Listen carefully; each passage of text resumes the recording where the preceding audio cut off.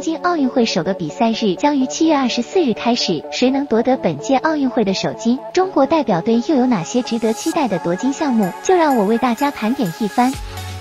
七月二十四日九点四十五分，射击女子十米气步枪决赛，这是我国能否夺得东京奥运会首金的关键项目。自两千年悉尼奥运会以来，历届奥运会的首枚金牌都产生在射击女子十米气步枪上，这个项目也是中国队的传统优势。二零零四年雅典奥运会有杜丽夺金后的回眸一笑，二零一二年伦敦奥运有易思玲比赛结束后激动的泪水，都成为中国体育健儿在奥运赛场上的经典瞬间。但在一六年的里约奥运会中，杜丽和易思玲只获得了银铜牌，痛失首金。今年将由二十三岁的王璐瑶和二十一岁的杨倩代表中国向东京奥运会首金发起冲击。他们在国家队选拔赛中荣获第一和第二名，实力都非常强劲。至于他们究竟能不能为中国队夺得奥运会首金，就让我们拭目以待。在中国健儿队奖牌发起冲击的时刻，海外的小伙伴们却因为海外地区限制，无法收看中文解说的奥运会。不过没关系，小伙伴们只要使用归雁加速器，就可以轻松看有中文。解说的东京奥运会直播啦，无需各种复杂操作，轻轻一点即可解除地区限制。之后无论身在何地，国内的视频应用都可以正常运行啦。下面我就来为小伙伴们演示一下，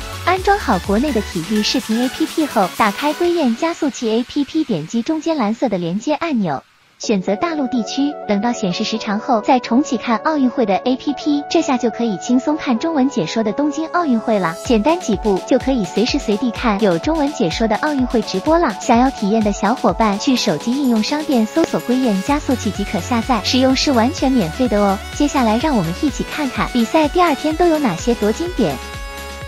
七月二十五日开始，射击、游泳和跳水、举重依次拉开战幕，中国奥运军团进入夺冠拿金牌的高峰期。虽然孙杨缺阵的游泳队夺金点不多，但是在射击、跳水和举重三项都是中国队的优势项目，有望开启夺金浪潮。其中，中国跳水梦之队可谓是实力强劲，男队陈艾森、陶源都曾在里约奥运会摘得金牌。谢思义更是在一八年与一九年在国际跳水大赛夺得冠军。金牌基本十拿九稳，而女队陈芋汐、全红婵等新人实力也相当不俗，此番跳水队或许可能首次包揽八金。而举重的八个项目上，中国军团派出的也都是顶尖争冠选手。六十一公斤级名将李发彬在二零一九年世锦赛及天津世界杯上共拿到五块金牌，打破两项世界纪录。六十七公斤级的陈丽君在今年举重亚锦赛上获得了挺举级总成绩金牌，还有七十三公斤级名将石智勇在二零一六年奥运会。会上夺金，不错，接，